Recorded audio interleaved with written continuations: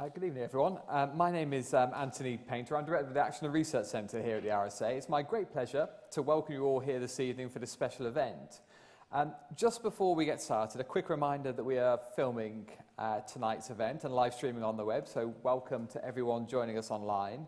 Uh, for those of you here in the room, please do switch your phones to silent. Um, no need to turn them off completely, because um, you may all want to tweet your thoughts throughout the session and join the online conversation via the hashtag um, RSA Economy.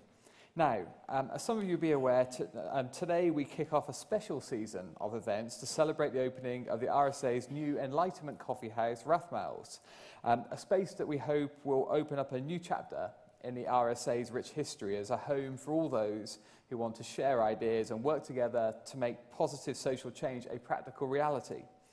Uh, across our season, we're going to be hearing from changemakers and creative minds on the big social, political, economic challenges that we're currently facing now. And in a decade ahead, um, and we hope giving us some grounds to optimism amidst what can feel like pretty dark and anxious times. Um, one of the key uh, themes of our series and an important strand of our research program here at the RSA is how to tackle inequality um, and build an economy that works for everyone, a democratic economy. And on that subject, uh, we really couldn't have a more fitting speaker than our guest this evening, Ted Howard. Ted is the co-founder and president of the Democracy Collaborative, which is an action-oriented progressive think tank established 20 years ago in the United States. Um, Ted has been named one of the 25 visionaries who are changing your world. And he is leading light and spokesperson. An honour indeed. He's leading light and spokesperson for the community wealth building movement internationally. Um, he previously served as the Executive Director of the National Centre for Economic Alternatives and as a Senior Fellow for Social Justice at the Cleveland Foundation, where he led a team that developed the comprehensive job creation and wealth building strategy that resulted in the Evergreen Cooperative uh, Initiative. Uh, Ted will talk more about that in his talk. The Evergreen Cooperatives, in, in turn, were an important inspiration for the community wealth building strategy now underway in Preston in Lancashire um, as well as other cities uh, across the UK and increasingly across Europe, in fact. Um, in his speech for us this evening, Ted will share stories and lessons from this growing movement and show how it might help us make the shift towards a democratic political economy. He'll ask, how can we redesign our local economies from the community level up um, to the national um, to produce more equitable outcomes? Uh, this is a question that speaks directly to a number of action research projects that the RSA is currently involved in. We share the desire to walk, uh, work towards a more democratic and equitable economy. Hopefully this shines through in the 10 foundations for 21st century enlightenment that we laid out last week, available online. Um, these foundations include mass ownership, fundamental devolution of power and resources, improving economic security through trying out universal basic income, um, and seeking a new social contract around good work. So I'm looking forward to the conversation with Ted following his opening speech and to hearing your thoughts too. Um, there'll be plenty of time for Q&A before we wrap up by 7 o'clock, so a packed hour ahead. So let's get started and give a warm welcome to Ted Howard.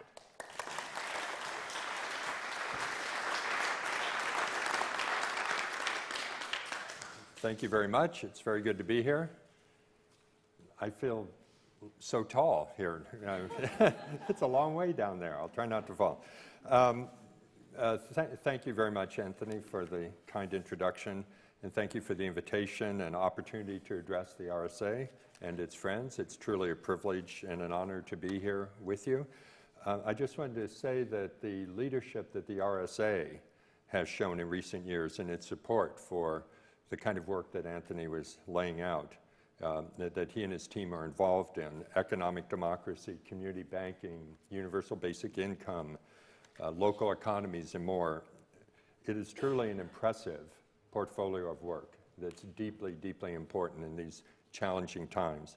As Anthony indicated in his introduction, my topic today, the making of a democratic economy, speaks directly to the work that the RSA is undertaking. So in some ways, I feel Anthony could be up here and I could be learning from him, but I was fortunate to get the invitation. In my remarks uh, this evening, I shall argue that we are in a period in which the outlines of a new democratic economy are emerging, both in the United Kingdom And even in the United States, and those of you looking at politics in the United States may think that's a bit of a push to believe that, but I firmly do. It is my belief that beneath the surface of our current economies, ones in which we are experiencing ever growing inequalities of wealth and income and a new age of monopoly capitalism, a new economy is being born. I hope to prove that assertion to you tonight. Before discussing the emerging new democratic opportunity in the economies of our countries, I would like to spend a few minutes on our current economic challenge due to what I would call the extractive economy. In my forthcoming book with my colleague Marjorie Kelly, some of you may know her work, she's just a brilliant thought leader in the United States. That, that book is entitled The Making of a Democratic Economy. We defined the extractive economy as, quote, an economy designed to benefit the wealthy, to enable the financial elite to extract maximum gain for themselves in every possible way, everywhere on the globe, heedless of collateral damage created for workers, communities, and the environment. It's a strong indictment. We can see this extractive economy at work all around us, in the United States and here in the United Kingdom. The institutions and arrangements at the heart of our economic system today's form of capitalism, concentrated private ownership, corporate dominance, the overweening might of Wall Street and city-based finance capital, Together, these form a powerful engine for the extraction of wealth and its distribution upwards, not trickling down. It is this basic design, I believe, that drives the outcomes we are seeing in terms of growing inequality, stagnant or falling wages, underinvestment, austerity in public budgets, the extraction of wealth from our communities, decreased social mobility, the looming threat of climate change. These are not aberrations. These are logical outcomes of the way our economy has been organized and is driving forward. Everywhere, wealth and power have not flowed downwards to consumers and citizens, but upwards to economic elites, and crucially to a very particular kind of elite. The new rulers of our world make their money not by producing goods and services that are useful to others, but by owning assets in an increasingly financialized economy. All of this means that the runaway success of today's elites is not part of a rising tide that lifts all boats, as the do doctrine of trickle down has so long claimed. Instead, it is achieved directly at the expense of ordinary working men and women and the communities in which they live. You're all aware of the unequal distribution of wealth in the United Kingdom, and you don't need me to uh, give you those statistics. But it was extraordinary to be here over this past week and hear the representative of the United Nations discuss his report on poverty in Britain and the impact that ongoing austerity is having on your population. This is not the Britain that I remember from some years past. But let me say a few words about this situation in the United States before I make a turn toward the positive and the democratic economy, which is really my topic. In the United States, the three wealthiest men in my country now own more wealth than the entire bottom half of the American population combined, a total of 160 million people. And this wealth chasm is rapidly widening. Since 2009, during the great uh, financial crisis, 95% of income gains in the US have gone to the top 1%. An alarming 47% of my fellow citizens cannot put together $400 in the face of an emergency.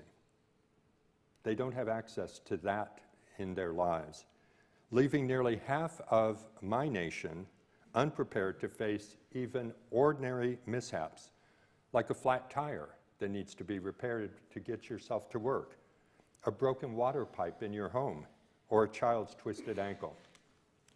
The percentage of American children living in poverty has remained the same as it was in the 1960s, but the raw number has grown, obviously, as the population has grown. And concentrated poverty has more than doubled since the year 2000.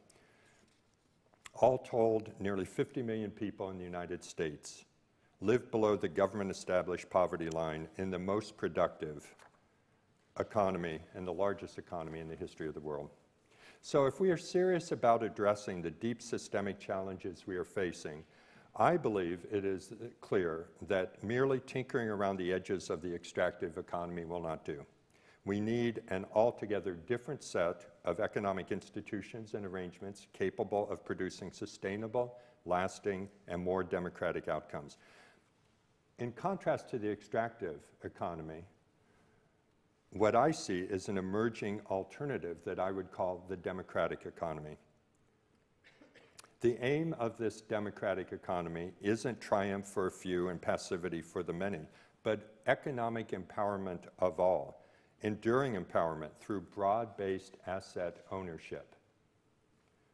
This is a new concept of social change, less about regulations and social safety nets and more about assets and institutions.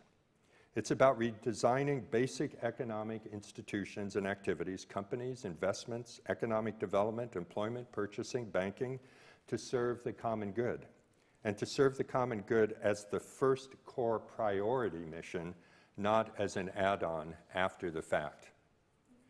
The exciting thing about the democratic economy is that it is not some theoretical construct nor a pipe dream, but already emerging all around us.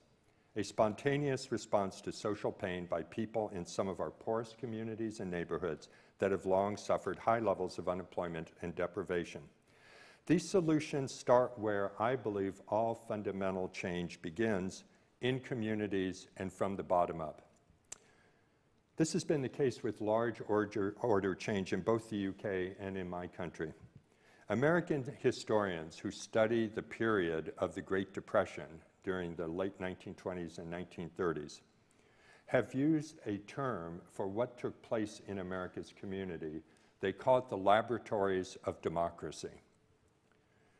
As the Depression took hold in America in 1929, the levels of pain across the country grew. But the ideology of the then federal government at the time, under Herbert Hoover, the president, was that the government should do nothing to address the growing depression, that the market would correct itself. And so, in community after community, people took their fate into their own hands and began to address their problems themselves because no one was coming to save them. New approaches were, de were derived and devised that could eventually be lifted up and scaled. America's primary social safety net, you may know, is called the Social Security System. Everyone over a certain age, you know, 62, uh, receives a benefit from the government for the years that they worked. That social safety net, the most important in our country, did not come from the minds of wise men sitting in Washington, D.C., in the federal government. It began in small communities in Alaska, which was not even a state at that time, it was a province, and California, as people grappled with their challenges. When the politics changed nationally, when the Roosevelt administration came in and the New Deal began, these small models that were designed to, to support senior citizens in these communities of California and Alaska, these small models were lifted up into this comprehensive system of national support, the Social Security uh, system. Here in Britain, there's a similar experience you know well. When Bevan launched the NHS in 1948, he drew his inspiration from a community based model in South Wales that began in 1890. This small Welsh experiment was scaled up into one of the great health systems of the world. So, the question that I ask is what are the equivalents today of these models and ideas that point to the outlines of a powerful new approach in our own time? One that can be taken and scaled such that it can touch everyone's lives. Does such a thing exist in our world? I'd argue that community wealth building, the very foundation of a democratic economy, is such an approach. And I'd like to now uh, sort of pivot my remarks to describe community wealth building and then uh, describe two places, one in England and one in the United States, where it is taking place. Um, and happily, you're going to get to meet some of the people who are building one of these models in a two and a half minute video. Um, community wealth building is a local economic development strategy focused on building collaborative, inclusive, sustainable, and democratically controlled local economies. It has many different forms, institutional forms, that work together to build a wealth building initiative. These include worker cooperatives, community land trusts, community development finance institutions, anchor institution investment, hiring, and procurement strategies that are localized to community, municipal and local public enterprise, and increasingly, public banking. Community wealth building is economic system change, but starting at the local level. The term first emerged in the United States in 2005 and was coined by colleagues at my own organization, the Democracy Collaborative. We've identified a number of core design principles that are embraced by a community wealth building strategy, and let me just give you three or four. I won't go through the whole list. First, the priority of labor over capital, particularly in a time of crisis, with continued stable employment more important than capital's profits. So labor in first place over capital. Not that capital is not important, but it doesn't drive every decision that's being made in order to maximize shareholder value. Second, the need for local and broad-based rather than absentee ownership as the basis for asserting what interests are to be valued in our community. Local ownership broadly held rather than absentee ownership. The importance of active democratic ownership contrasted with the passive consumer model we live with now. I think democracy is a very good thing. I'd like to see more of it in our workplaces, where we can be trained on a daily basis in the arts of democracy as strong democratic citizens. And I would suggest the central role for multipliers and internalizing the circulation of money in our communities with investment sticking rather than capital being extracted. I live in a very poor neighborhood in Cleveland, Ohio. And yet, even in that neighborhood where 40% of the residents live below the poverty line, there are still financial resources. The problem is they keep getting drained out of our community. How do we get them circulating to get a multiplier effect to put more people to work? And finally, at the heart of community wealth building is a systemic change approach. Moving beyond projects and programs, individual little things, to create an entire ecosystem of institutions and policies that can produce reliably beneficial outcomes as a natural consequence of the working of the new local system. Thus, the fundamental goal of community wealth building is to rebuild the very basis of a local economy from the ground up on principles of equity, inclusion, democracy, and resilience. At the Democracy Collaborative, we've been tracking and promoting the growth of innovations in community wealth buildings, which I'm going to tell you about now, uh, for almost two decades. I well remember I remembered this morning again, when we coined the term community wealth building nearly 15 years ago. I conducted a Google search at that time, or whatever was the search engine. I don't know if Google's 15 years old even. Um, I conducted a search online and found no references at all to the term community wealth building. Zero. This morning, as I prepared this lecture, I searched for the term and found 218 million results. Now, even allowing for massive duplication, this is an extraordinary development in just a decade and a half as a new paradigm of economic development is being born. So let me give you a sense of how this expansion has started to happen in the United States. Take the example of community development finance institutions, which provide credit and financial services to people and communities underserved by mainstream commercial banks and lenders. The kind of people that can't go into a traditional bank and even get a loan. In the early 1990s, for the most part, community finance was more a concept than a reality in the United States, with fewer than $2 billion in assets devoted to it. Today, the industry includes over 1,000 federally certified community development financial institutions, whose combined assets, as of 2015, the last time a study was done, are an estimated $121.6 billion, a 60-fold increase in the space of just two decades. Cooperative ownership in many forms, from producer to purchasing and financial cooperatives, is ascendant in the United States. Over 100 million Americans belong to various types of cooperatives, including credit unions, which have around 111 million members and manage $1.3 trillion in assets. That's more than Wall Street giant Goldman Sachs has under management.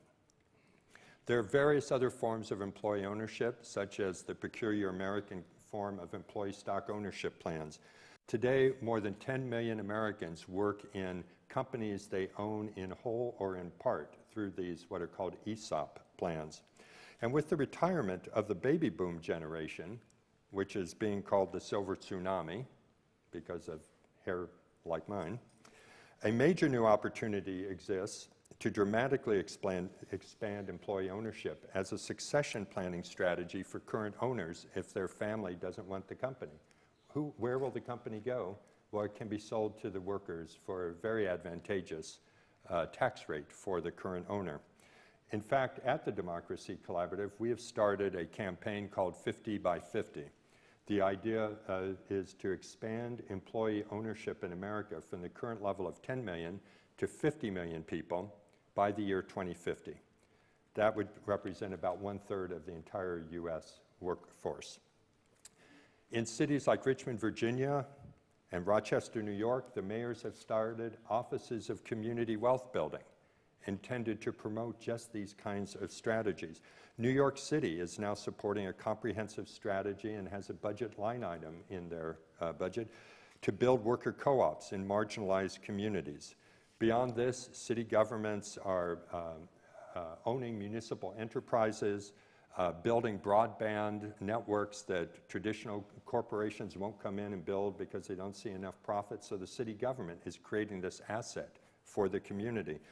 Publicly owned utilities, together with cooperative utilities, currently provide a quarter of America's electricity, including in Nebraska, a very politically conservative state but also an all public power state in which every resident and business gets electricity from one of 166 community owned and based entities. In one of the most conservative, reddest, pro Trump states in the United States, everybody is getting their energy from publicly owned community wealth type utilities. So I could go on and on about all this, but there are tremendous opportunities. Uh, hospitals, universities, cultural centers in America reorienting their, their procurement, their investment policies to benefit their local communities. Huge potential. If you just take all the universities and hospitals in America on an annual basis, they represent over $1.2 trillion of economic activity rooted and anchored in communities that can be leveraged for the benefit of communities and married with the community wealth strategies that I've been sharing with you. So, and by the way, uh, as one of my colleagues uh, likes to put it, uh, a Brit who lives in Washington, D.C. and works in our office, uh, you, uh, the United Kingdom is home to the mother of all anchor institutions, the National Health Service.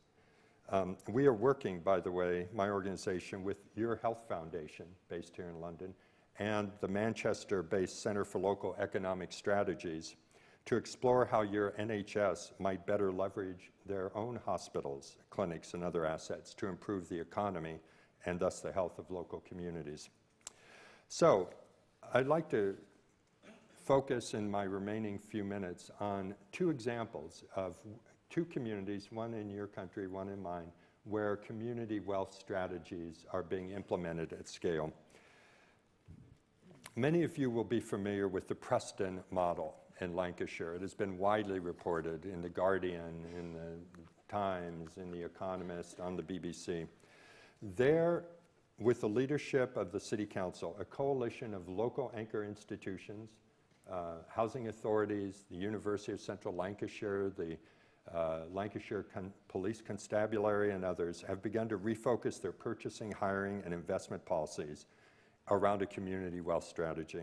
Within a few short years, this didn't begin until 2012, Within a few short years, Preston has become a model for how local economies in the UK, even in this age of government austerity, can generate their own wealth and economic opportunity. Public service spending in the time of austerity has gone up in Preston by more than 70 million pounds as contracts have been repatriated that formerly went to large multinational vendors. Contracts are now going back to vendors of businesses based in Preston itself. 70 million pounds. Lancashire itself has seen an influx of 200 million pounds into this strategy, and as a result, more than a thousand local jobs have either been created or saved and sustained in a city that was frankly back in 2010 11 was flat on its back as a result of the financial crisis. In a recent study, Preston, once designated as one of the most deprived cities in the Northwest, was named the most improved community in the entire United Kingdom. New elements of the strategy are now under development. The creation of worker cooperatives to fill gaps in the local markets, uh, a municipal clean energy company, the creation of a public bank of Lancashire, all in this small town of about 140,000 people in an area that has been so hard hit by the uh, deindustrialization. Now, some 40 communities across England, Scotland, Wales, and Ireland have reached out to Preston to learn from their experiences and begin to build their own community wealth strategies. Preston, to my mind, is the most interesting system change model of community wealth building exists anywhere in the world, at least that I've seen. So, congratulations to you all for that. I'd like to conclude with some uh, words about where I live, Cleveland, Ohio. Um, Cleveland is an older industrial city in the United States. It's on Lake Erie. Um, it's in what's called the Midwest. It's a city where industry was once the basis of a thriving economy it's a city that John D. Rockefeller uh, uh, lived in and helped build. It's the place he located Standard Oil's headquarters, a city that in its heyday had more Fortune 500 companies headquartered in Cleveland, Ohio than any city in the United States except New York City. There are about two left. Steel workers in Cleveland, at one point, highly organized by unions, once made the highest hourly wages in the entire nation of the United States. In more recent years, Cleveland became a city devastated by deindustrialization and the flight of jobs and capital. Once Cleveland had been one of the five wealthiest cities in America, today it is ranked as the second or third poorest. It's hard to convey the full magnitude of the economic destruction visited upon places like Cleveland, all across what was once America's manufacturing heartland. Cleveland alone has lost more than half a million people of its population since 1950. 57% of the population gone. It's as if half the city has been thrown away. A tremendous human capital and carbon costs. The disparities are, are dark. Uh, in this community of Glenville, where I've lived the last few years, it's a neighborhood within Cleveland. It's a, a neighborhood that's uh, uh, almost 100% African American. The average life expectancy for a male in my neighborhood, who, who would be black, is 64 years. Directly east, eight miles in a suburb, a white suburb of Cleveland, the average life expectancy of a male who's white is 88 years. 24 years of life expectancy directly correlated to issues of poverty and wealth inequality and income. So, about a decade ago, leaders of the Cleveland Foundation and the Cleveland community decided they needed a new approach to rebuild the, the economic basis of, of the city. And what they realized is while the city may be poor, it has a legacy of its former manufacturing strength. Large institutions like the Cleveland Clinic, which is one of the five largest employers in the entire uh, state of Ohio, very big universities like Case Western Reserve University and so forth. And so they designed a strategy to leverage the purchasing, investment, and hiring policy of these institutions. Just three of them together have on an annual basis $6 billion in economic activity, and yet surrounded by neighborhoods with 50,000 residents who 40% of whom live below the poverty line. So the goal was uh, simple. How do we break down the barrier between the world-class institutions and the neighborhoods and get the money flowing into the neighborhoods. And so we focused at the beginning on procurement, driving contracts locally. And what we've created is now known as the Evergreen Cooperatives. It's a network of for profit businesses hiring people locally from the community, many of whom are ex offenders, have police records, can't get jobs, and many other uh, businesses, um, and root their companies in the neighborhoods and uh, capture contracts from the institutions. So far, this network has three cooperative worker-owned businesses in it. Hmm, 250, 300 people are employed currently, living wage jobs, benefits, housing programs, uh, opportunities to progress, and uh, profit sharing as the companies are profitable. Many hundreds of other jobs, not cooperative worker ownership jobs, but good, decent living wage jobs have been created through this strategy as well. And because the Evergreen Cooperatives are democratically owned businesses, the wealth is created and rooted in the company, in the community. So the idea is not just to benefit the workers, but to benefit the community as well. Very quickly, this is um, what Cleveland looks like. That's the Rock and Roll Hall of Fame. And that's the football stadium where our team loses almost every game. Uh, and that's Lake Erie. Uh, and this was from the Toronto Star, did an article about, you know, what's happening in this Rust Belt city of Cleveland. So just, uh, I talked about uh, putting together an ecosystem that could produce these results on an ongoing basis. This is part of our ecosystem. You can see they're worker-owned firms. They're hiring from the community. There's a community foundation is providing some finance, as is the municipal government. There's a technical assistance and financing arm that, get, that is incubating new businesses and providing back office services to the institutions. We have three companies. This is the uh, Green City Growers. We're growing 3 million heads of lettuce in downtown Cleveland and 300,000 pounds of basil year-round hydroponic food production and cutting out 100, uh, cutting out 1,500 miles of carbon-based transportation because the growing season in Cleveland is so short we're buying all of our lettuce from Mexico and California and Arizona. Not any longer. It's being grown right downtown. We have a commercial laundry service. We have now just been awarded the contract for the Cleveland Clinic, over 20 million pounds of healthcare bed linen being produced by this company every year. By the way, they just had a profit sharing event at the beginning of the year. For the workers that have been there the longest, they receive checks, bonuses of over $5,000 US each which in a neighborhood where the median household income is $18,000 can be a life-altering amount of money. Uh, again, here's our food production greenhouse. This is our crew. We have a renewable energy and green construction company. So what I'd like to do now is take two minutes as I conclude and introduce you to some of the people that are making Evergreen work.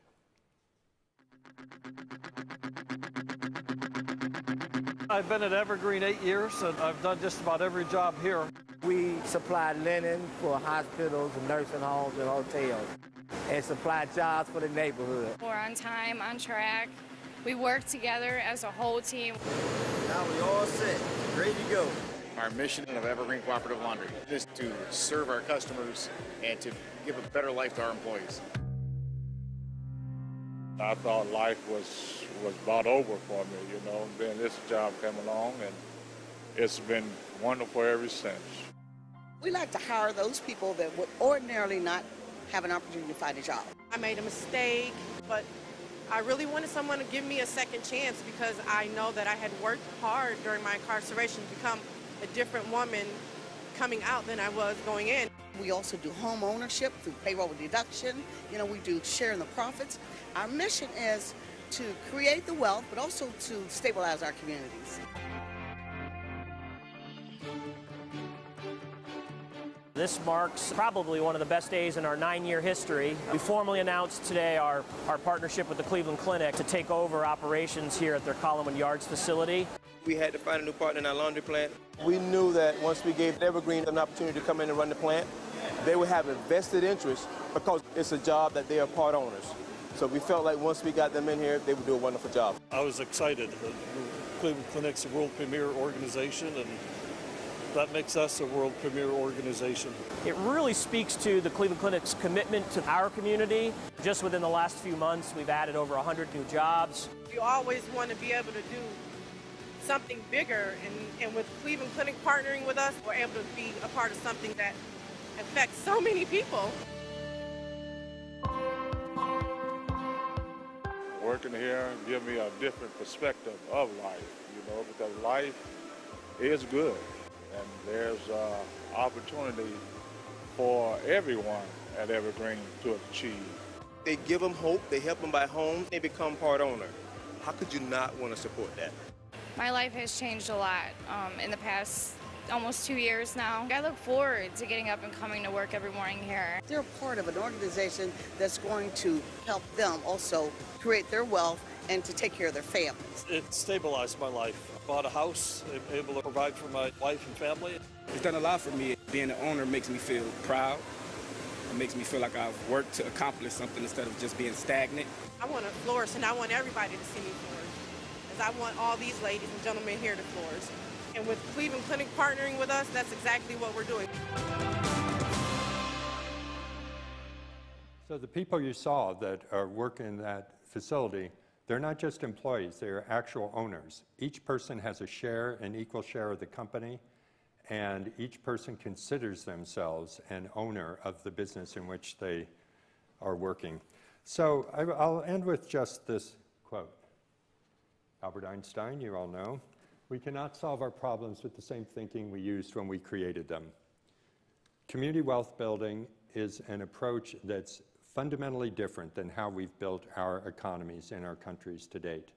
It is asset-based, it's ownership-based, it is intentionally en endeavoring to be inclusive, it is for-profit, but it is profit linked to the benefit of the community itself.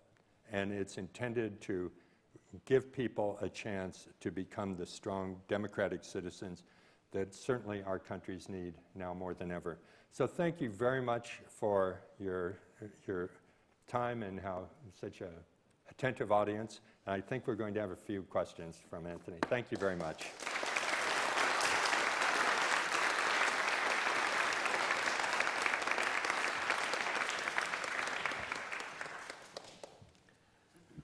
Been a fan, and, uh, and, and hearing the whole story and, and seeing that testimony um, only underpins and un underlines that. I just want to ask you a question, first of all, about, about the strategy. I mean, this is a 20-year story, if not more, considerably yep. more. Um, and what has been most interesting about this from, from my perspective is you sort of note the injustices, and you talk about the grotesque divides of wealth, inequality, and so on, but you very quickly pivot to change and investment and strategies and building and finding solutions. Um, don't you want to take on the big guys um, a bit more? And um, beyond that, is the risk that community wealth build building ends up as quite marginal. Um, and actually, the enormous concentrations of wealth and power that we're seeing in a sort of winner takes all economy gets left unaddressed. Yeah. So. The, the way I see what we're trying to do is uh, really consistent with that. First, that idea of laboratories of democracy. We need to learn how to do this. And, and let me say, I, I, think that video shows a kind of inspiring example. You know, it kind of turns me on.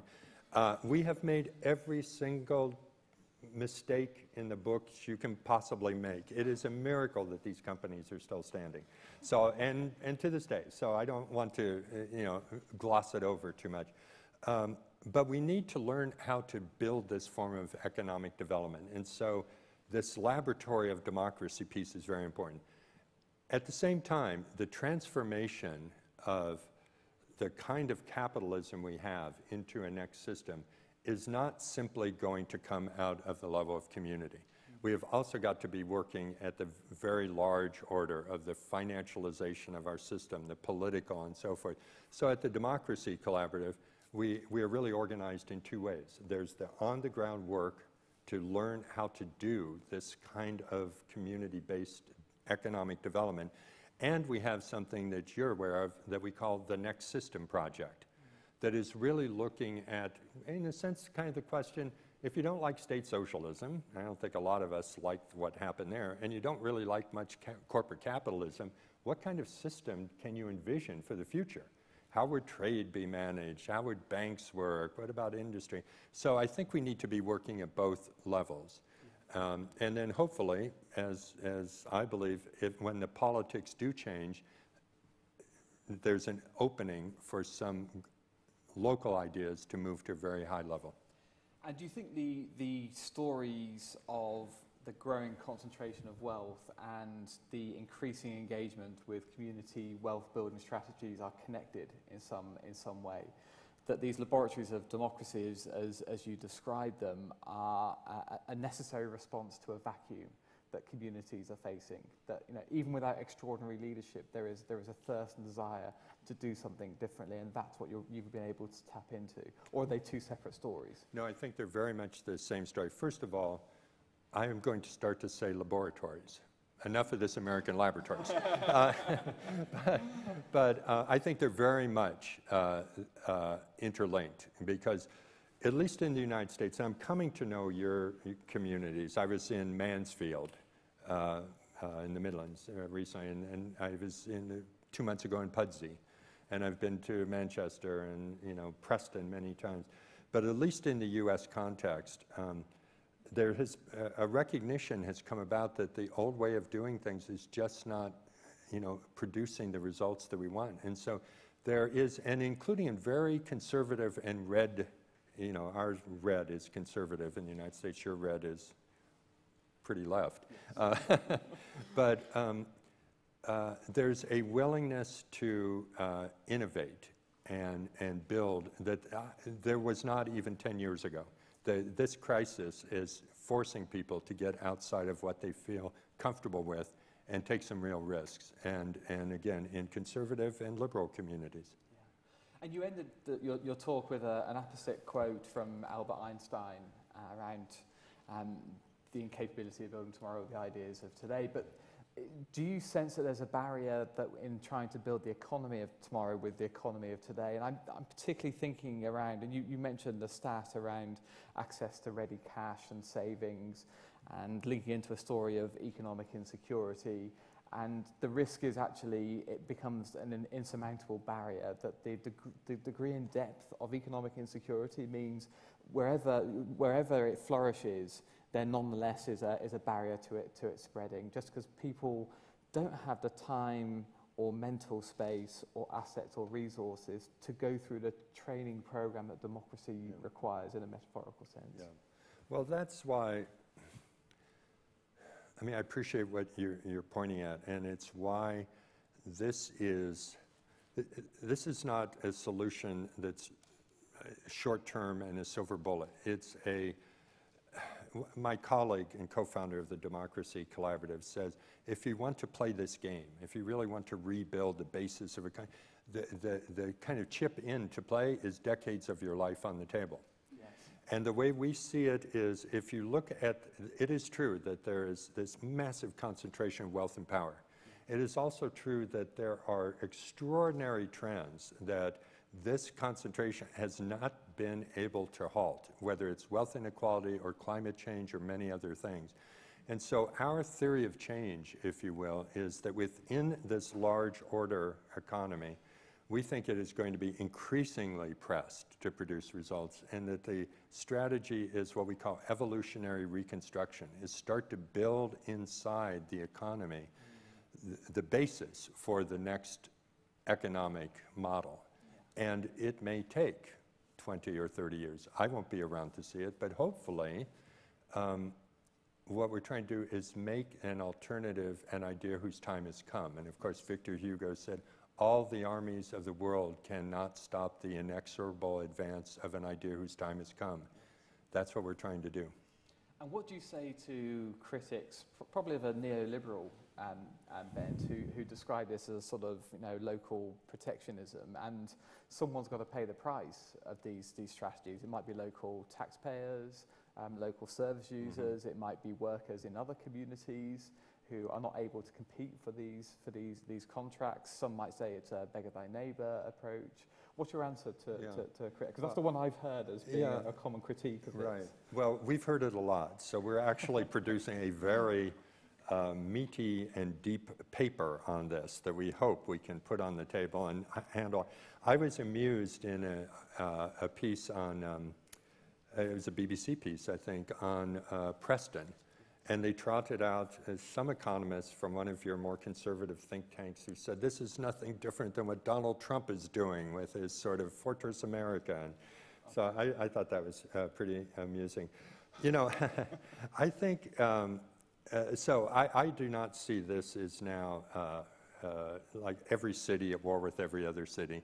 What we've seen in the United States is we've, if you take Preston, when they started their work of bringing some contracts back, uh, first, the contracts were not going to small businesses in local other communities, you know, in Lancashire. Uh, they were going to very large multinational firms, a number of them not even in this country. And when they started this, only 5% of their spending, uh, public spending in Preston, was going back into Preston at all. It was all leaking out.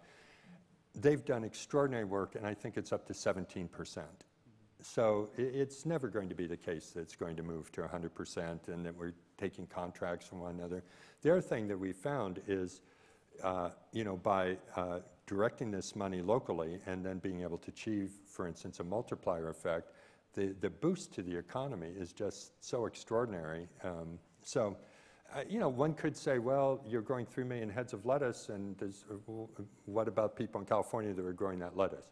But it's such a marginal little blip, and we've been able to put, to get, put 50 people to work with it, and it hasn't even been missed out there. Brilliant, thank you. Right, I'm going to open it out to uh, the audience. Um, I'm going to take this lady here first. I'm going to take this lady and this lady. I'm going to take three, bank of three. Thank you. Thank you very much for your talk. Um, I just wondered, uh, how do you feel about maybe finding allies within the corporate capitalism. You know that every system has um, insiders who would wish for better things, and the, some of the responses to the current crisis have been uh, of the sort, uh, you know, they would describe it as conscious capitalism or shared value mm-hmm. um, and things like that. Okay, yeah. great, thank you. And then let's go to this lady here. Uh, yes, I was just wondering what your view is on, on banking generally in terms of banking supporting business. Is the answer local sort of cooperative banks? Is there a role for big national banks any longer? Brilliant, thank you. And then it was uh, this lady here. Yep. Um, uh, I was just wondering whether there was any evidence to show that um, local economic strategies are more efficient than outsourcing contracts, or not. Mm -hmm. Okay So you can take those in any order you want. Good. Where, where to find corporate allies, yep. um, banks, cooperative banks, and uh, the efficiency of local yep. economic strategy. So uh, I'll take them in the order. So with the kind of ca conscious capitalism or um, sort of, you know, there are a lot of terms being used for it. I think there are allies. Um, you know, in Cleveland, Ohio, part of this strategy is being supported by one of the remaining large companies there called Sherwin-Williams. It's a paint company. It's been there over 100 years and we welcome the support. And I think there, there's certainly, uh, in my experience of a lot of the leaders of many, many companies these days, is they really feel uh, this thing is not working. they know more than anybody. they, they just don't know what to do. And they, like our communities, are trapped in a certain system.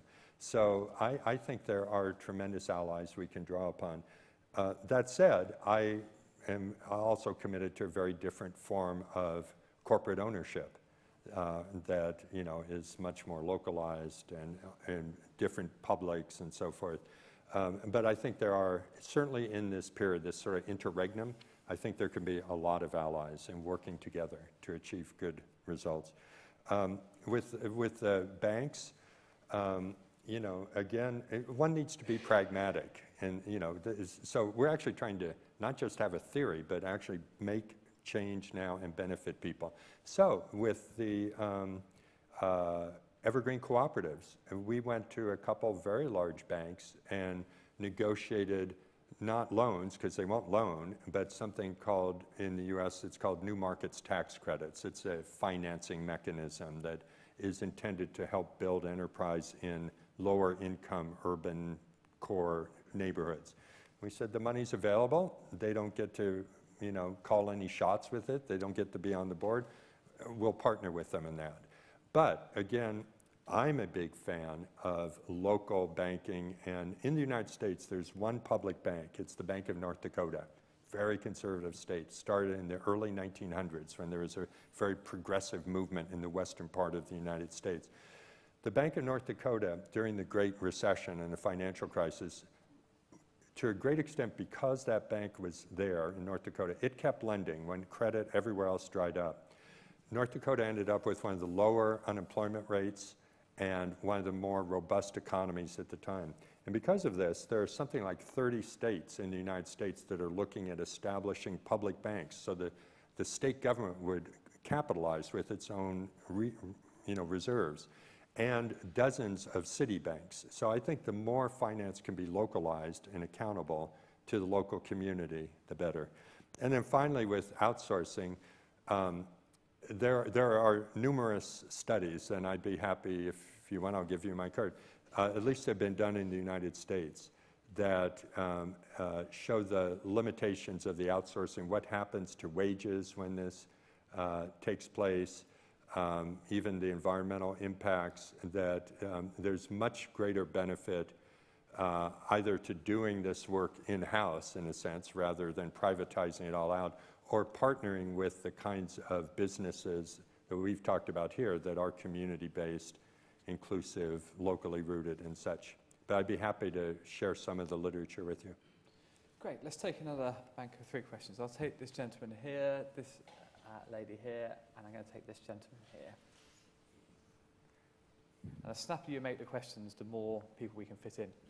Um, surely the significant difference between what we might call traditional capitalism and the kind of cooperative capitalism that you've described is the decision about what happens to the profits. Because ultimately, if you have a democratic institution or local municipal um, organisation, if there's a surplus made, where that surplus goes, either it's reinvested or issued as a dividend to the local workers, whereas in, in traditional capitalism, it's the shareholders who may be very distant people indeed, who get the profit and it's creamed out of the community. Exactly. That's the real distinction here, is about what happens to the profits. Thank you. Very good. My question is about education and whether any states in the United States have uh, explored this option. I know teachers, for example, are having to work two, three extra jobs, uh, you know, in a, in a profession that was previously seen as, you know, sustainable, particularly affects women um, and particularly single mothers. Um, yeah. Okay, thank you. thank you. And then it was this gentleman here. Thank you. Uh, you somehow are advocating for not having economies of scale, and you're advocating that increasing the speed and increasing the network effect locally has an advantage. Is, is this a way to explaining to traditional people, yes, we are relatively inefficient macro, mic, microeconomic way, but the network effect more than compensates that. Is, mm -hmm. is that a is that a shortcut? Or, yeah, does Good. it make sense? Yeah, good. So uh, very, um, very quickly, I think you're exactly right.